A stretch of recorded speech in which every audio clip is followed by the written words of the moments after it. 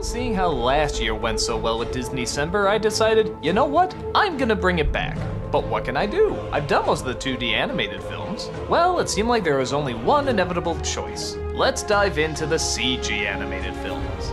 And not just the Pixar, I'm talking about the ones that Disney made on its own as well. Thankfully, there's not quite as many as the 2D animated films, but you know what? A good chunk of these films are still pretty awesome, and really have meant a lot to us in our childhoods, as well as our adulthoods. The evolution of the art form has changed so much, not just for Disney, but for animation in general. CG animated films are big bucks now, and on top of that, they get a lot of good people and a lot of good talent on board to make it as good as they can. The stories are unique, the characters original. They're funny, they're emotional, they're heartbreaking. They're everything that Disney stood for, but in a brand new way, opening up the door for new storytellers, new different kinds of characters, new ways of looking at things. It can't be ignored and it deserves to be acknowledged. So sit back and enjoy. All throughout the month of December, we're taking a look at Disney's computer generated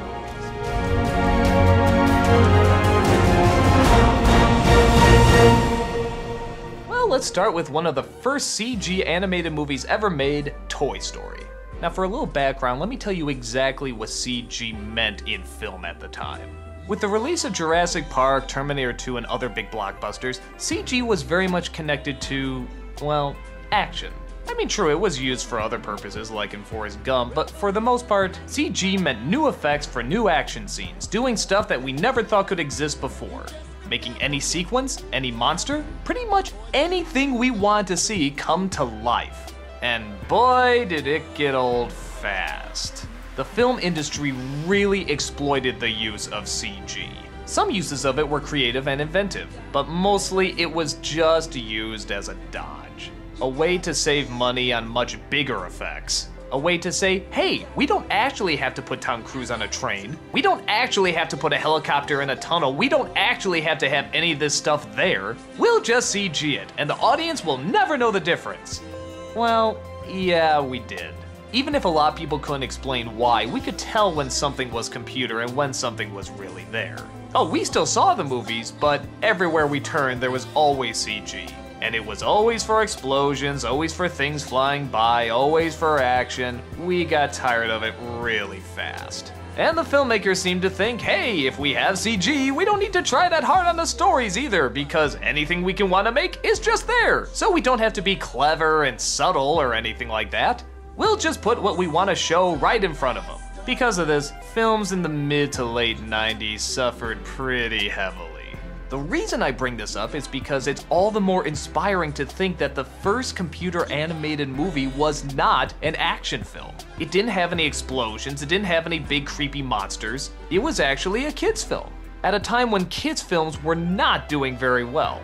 Heck, even Disney wasn't doing very well. So when Toy Story first appeared, with its bright colors and child-friendly images, an innocent story about a little boy's playthings that are competing for the most attention, yeah, we thought this was gonna crash and burn.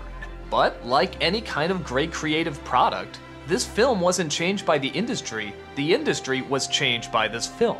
Now everybody wants to be like Toy Story. Everybody goes for the same formula. A CG animated film with bright colors, a lot of creativity, dialogue that's very modern, almost like stuff you'd hear on The Simpsons, a simple story that actually manages to rope in some comedy and surprisingly even a little drama, and focusing more on the writing than the actual effects themselves. This is everything that makes a great film, and Toy Story is a great film. So, what's the plot? Woody the cowboy, played by Tom Hanks, is the toy of a child named Andy. Andy's favorite toy, in fact. But when Andy leaves, all the toys come alive and start chatting with each other. And they're especially concerned because Andy's birthday party is today. And they're afraid that the new toys might overshadow them, even to the point of having them be given away. But Woody is there to calm them down because, of course, he's Andy's favorite. Or at least, was. A new toy named Buzz Lightyear, played by Tim Allen, has all the latest gizmos and technology. Woody inevitably gets jealous and tries to fight for his spot as Alpha Dog. One day, one of his plans goes too far and he accidentally knocks Buzz out of the house. Woody gets roped right along with him, and the rest of the film is a race to get back home before Andy and his family move.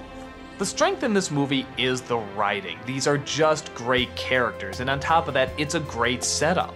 Buzz is not the villain, Woody's not the villain, it's just a form of jealousy that we all know. And that leads to great comedy. In my opinion, some of the best comedy out there is based on competition. And seeing these two constantly try to be good people with their ethics, but also get drawn into the childish turmoil of who's more popular, is great to watch. And it's also really clever that it's the spaceman that outdoes the cowboy, showing how much fads come and go.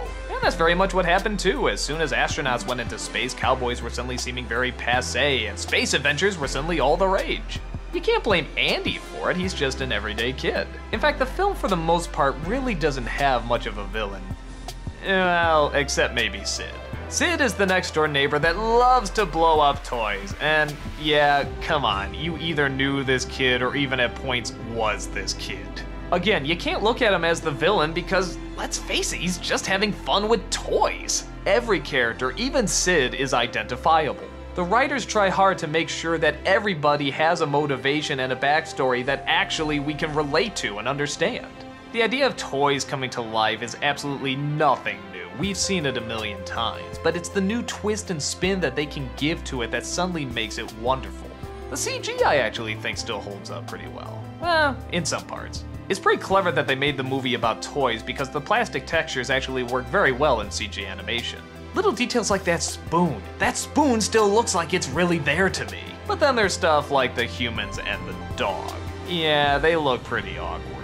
Give them credit, it was the first CG movie ever made, but yeah, at times the people look more plastic than the toys do, and yeah, that dog sort of looks like a Dalmatian that swallowed Pac-Man. It doesn't quite look right. But again, this is really nitpicky. The film still works unbelievably well. For a new medium like this to take such a different turn and such an old-fashioned turn, but to still throw all their talent and all their great writing and all their character development into it makes it an animated classic. One that films continue to copy even to this day. This was the game changer, and you can see why. In my opinion, it's a classic. But this would only be the first in a long line of big hits for both Disney and Pixar. And the animated CG revolution has just begun.